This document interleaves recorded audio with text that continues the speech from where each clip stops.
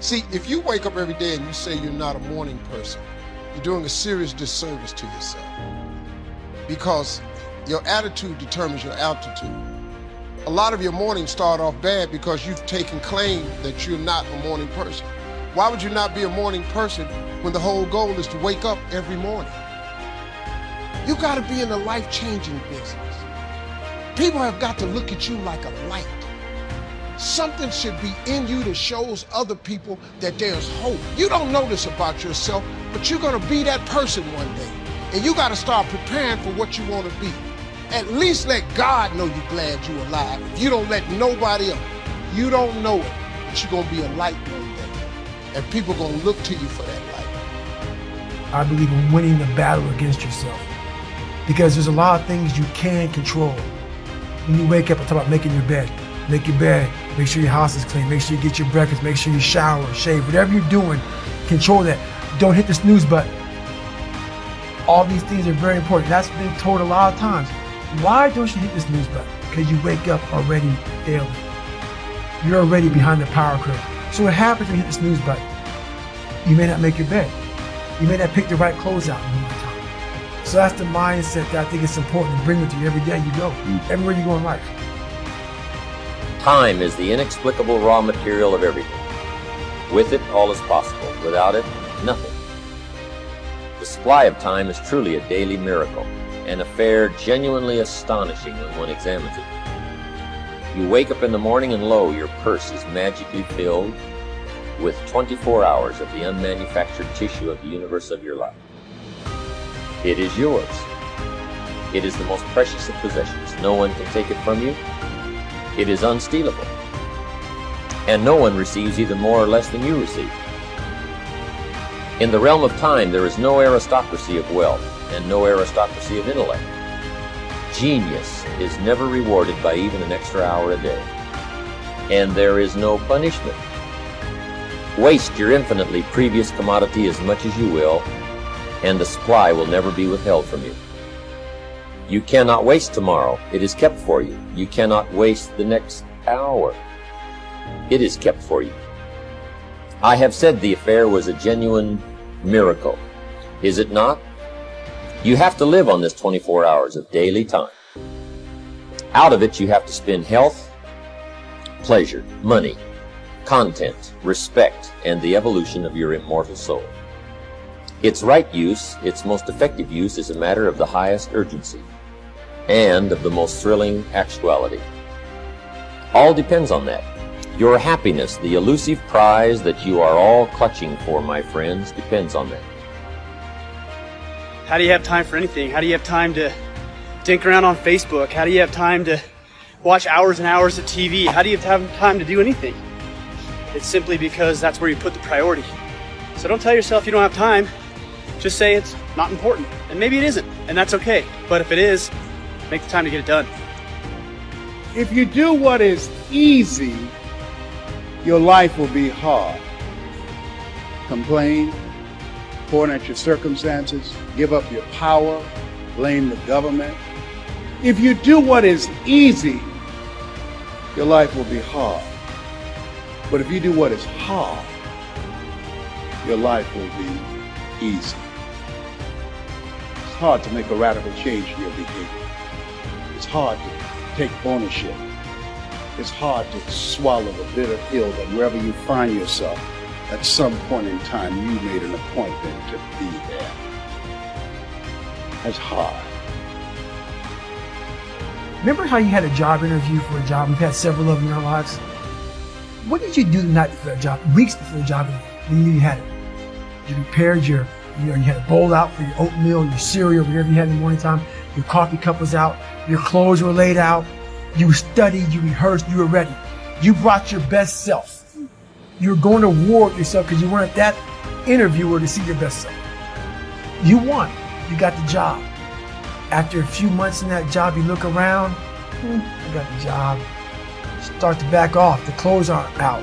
Hit the snooze button. You don't get up on time anymore. You realize that you can still have this job and not be your best self. The interview you is gone.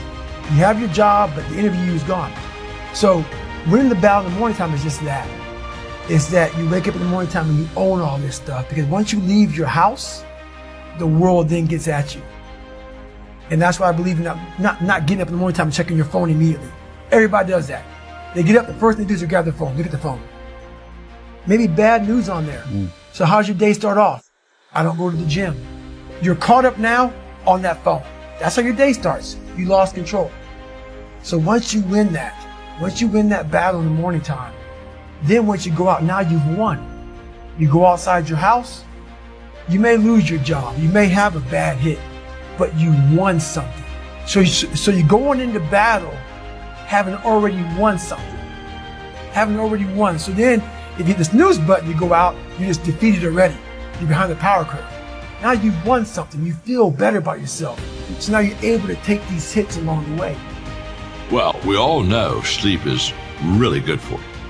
In fact, I cheat myself because I could probably, if I could sleep a little longer, I would, I would probably be better because all medical science tells you that how important, you know, seven, eight hours of sleep is for each person. What I want to say to you is when you wake up, wake up. Don't sleep during the day. Don't get a little bit unconscious and let life pass you. Be intentional. Go for it. Be in the moment. Be alert. Be aware. Seize the time. We don't have much of it.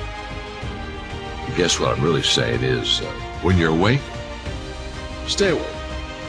Then when you sleep, it's a little bit more legal.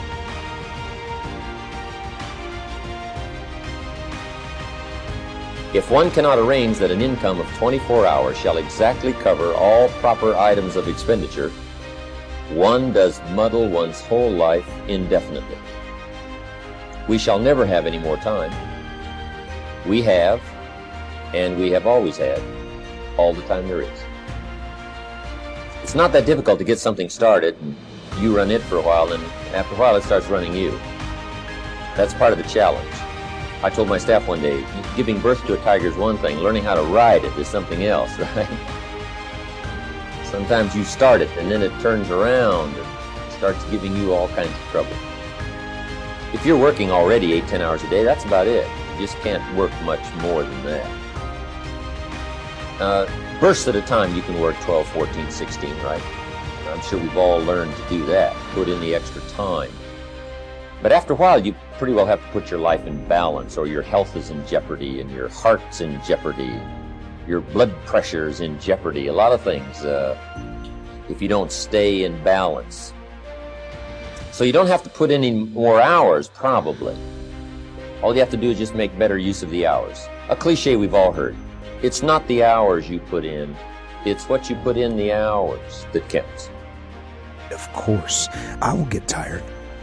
I will get beat up, I'll get knocked down and drained, and I will have some bad days.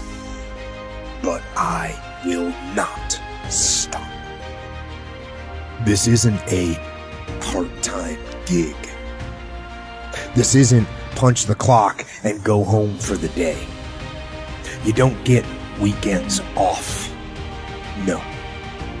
Here, there's no such thing as a weekend.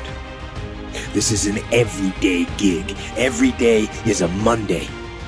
You might not like that. Me? I love it. To me, every day is a beginning, a new day, a new week, a new shot at life.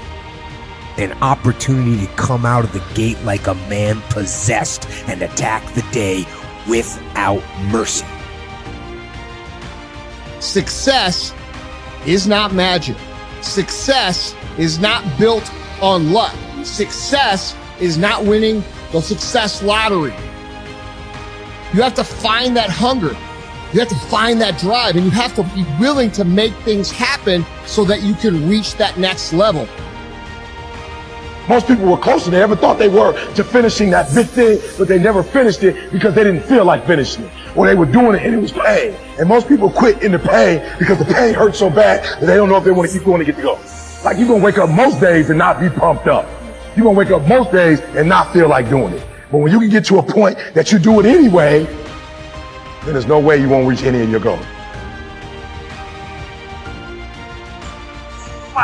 Appetite increases. It gets stronger every year. I want more every year. I want to do more every year. I want to help more every year. I want to be bolder. I want to be better. I want to be stronger every single year. Every single year, your appetite should go up. You should never get settled. You should never get content. Successful people ingrain the drive into themselves. They master the mundane. They are consistent with that mastery. They understand the concept of longevity and the adjustments that need to be made. These people don't limit this to the concept of business. Their whole lives are driven by these ideas. They don't have to tell people how successful they are because it shows. They don't believe in magic.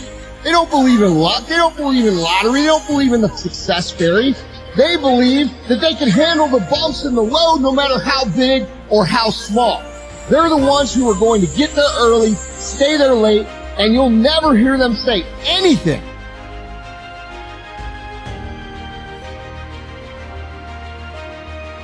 Because when you're in the 2%, you're going to get what you want 100% of the time in all aspects of life.